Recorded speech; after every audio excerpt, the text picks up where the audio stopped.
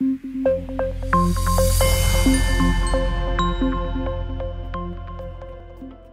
welcome back to The Effect. We are finally into part two of the book. Uh, the second half of the book is going to be a little bit more technical, a little bit more focused on actual application rather than just thinking about identification. How do we actually use the tools and designs that are most common for this task?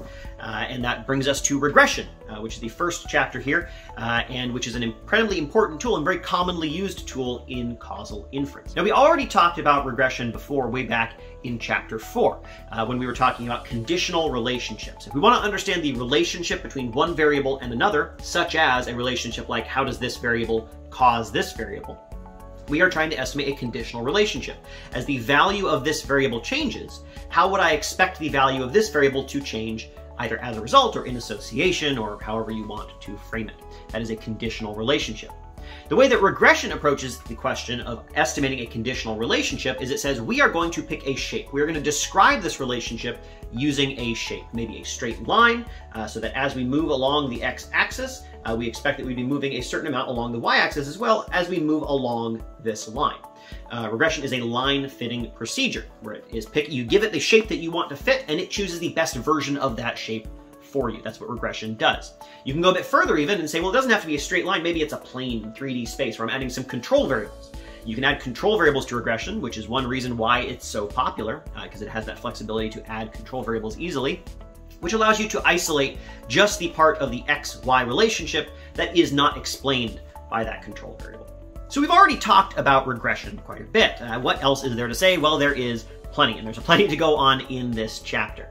Uh, and the first thing we're going to be thinking about is, well, we've been talking about how we pick a line and we fit the best line that we possibly can. But let's also talk about what we have left out by picking a line. And that's going to turn out to be very, very important to focus on, right? Because we're not, the line that we have does not perfectly explain uh, y, right? If we have x on the x-axis, we have y on the y-axis, we would not be, expect even that this that all the points would fall perfectly along this line. There's going to be some ups and downs. Maybe there's a data point out here that is a bit above the line. In this case, the reality is a bit higher than I predicted it to be with my line. Maybe there's a point down here below the line. In this case, reality is a bit below where I predicted, predicted it to be with my line. These are called residuals. The residual, no matter how what method you use to create a prediction, uh, the residual is the difference between the prediction that you made and the actual value that we are looking at, or rather the other way around, the actual value minus the prediction is typically how the residual is written. Uh, so we've got this idea of residuals, and in fact, that's what we used to pick a line in the first place. We tried to pick a line that makes the squared residuals as small as possible. But when we're thinking about inference, when we're thinking about trying not just to fit a line, but trying to learn something about the real world from the line that we have fit, we have to not just think about the difference between a prediction and the actual outcome. We have to think about the difference between our model as a whole and the actual outcome. Remember, we are focusing here on the data generating process. We have to do that in order to make any sort of proper inference about what our results actually mean. Uh, and our data generating, and just like the prediction is going to leave something out, our data generating process is also going to leave something out. And that is something we're going to give a different name, the error. The error is the difference between what your model would predict if it had all the data in the world and got the best possible version of that estimated model and what would still be left out. The residual is saying, hey, you made a prediction. It's going to be wrong for some for some number of reasons. Maybe you left some stuff out of your prediction model. Uh, maybe there's some sampling variation, whatever it is. The error term says no. The only thing we're looking for in the error term is the difference between what is in your model and what is still left over. So to give an example about that, let's say that we are talking about trying to predict somebody's wealth using their income. You have a high paying job, you might expect that person to end up with more wealth. Uh, and that would probably be a strong relationship. Probably people with higher incomes are going to end up with higher wealth as well. Uh, and so the residual would say, okay, we're using income to predict wealth. You know, sometimes we're going to be a bit above, sometimes we're going to be a bit below in terms of what the actual wealth is. Yeah, okay, that's a residual. We've made a slight, uh, there's something missing there. The error term would say, hey, if income is the only thing you're using to predict wealth, there are other things that also predict wealth that you are not using. Uh, for example, perhaps your parents' wealth, uh, or you happen to win the lottery or something like that, right? Everything that's not in your model is still a predictor of your outcome, it's just not in your model. It has to go somewhere, and that somewhere is the error term. If you look at a data generating process like this one, uh, what we can see, there is an equal sign here. y equals beta 0 plus beta 1 times x plus epsilon. That's an epsilon right there. Epsilon is something we would typically use to represent an error term.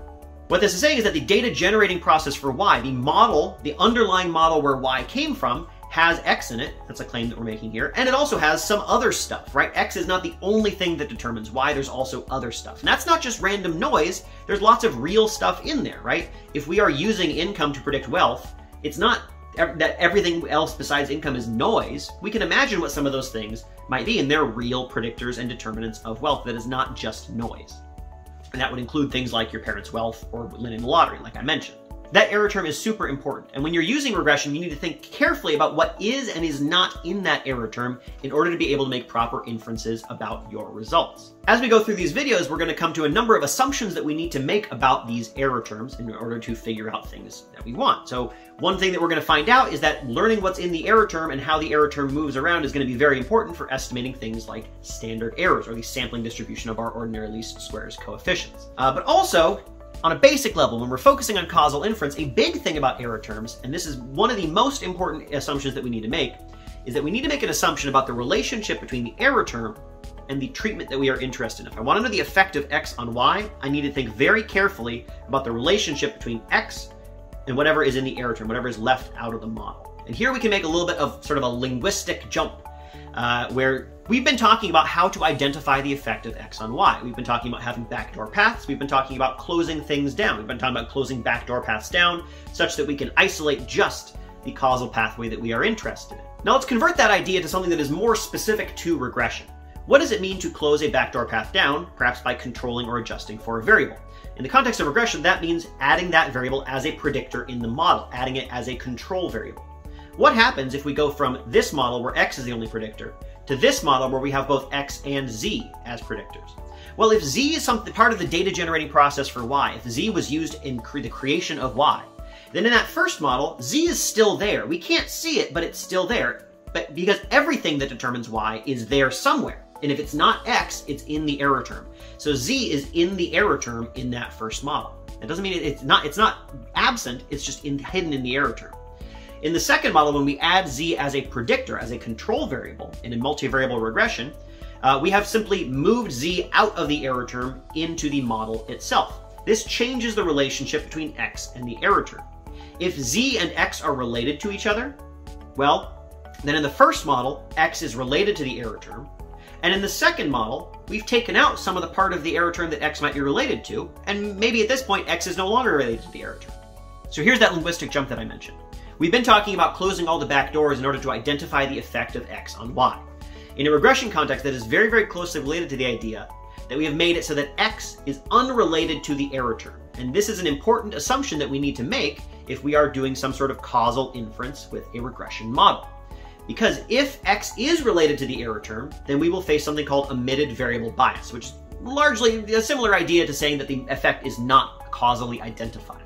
Omitted variable bias, we might say that X is endogenous if it's related to the error term. There's a bunch of different terms that are used here, but the basic idea is this. If we have omitted from our model a variable that is related to X, that's the omitted variable part, uh, as in this first model, where if x and z are related to each other, but z is in the error term, so that we know that x and the error term are related, that will bias our estimates. The estimate that we get will not be reflective of the actual causal effect of x on y. We have not identified the effect. Why is this? Why does omitted variable bias occur? Well, you can sort of imagine the sort of issue that ordinary least squares is going to have. If we just look at the relationship between y and x, right? Um, but we have z over there, and z is related to x. But in this first model, we haven't told ordinary least squares about z, right? It doesn't know. It can't do anything about that. So let's say, for example, that z is positively related to x. They're positively correlated. And also z is positively related to y. But we still uh, estimate this first model where z is in the error term. What's going to happen? Well, z is doing all sorts of positive things for y, but y doesn't know about it. But y does see that x happens to be around when all those positive things are happening. So it will give x the credit for all the stuff that z did, right? z is doing all this stuff. Y doesn't know that Z is doing all this stuff, but it does see that X happens to hang around Z and Z is doing all that stuff, right? So it will give X the credit. This will be the bias, the omitted variable bias part. Uh, the ordinary least squares will assign the effects of Z to being the effects of X, because it doesn't know any better. So, When we have a regression model like this, we need to think carefully about the error term. Uh, we know that all the variables that are in our model that we're actually using as predictors in our regression model uh, are in the model. Those are being included as predictors. if we're interested in the effect of x on y, and we know that there are backdoors to close, we can close those backdoors by including control variables in our regression model. Uh, including a control in a regression model is a way of closing a backdoor that goes through that variable. This means we need to think carefully about what is still in the error term, what is in the data generating process that has uh, not been included in the model.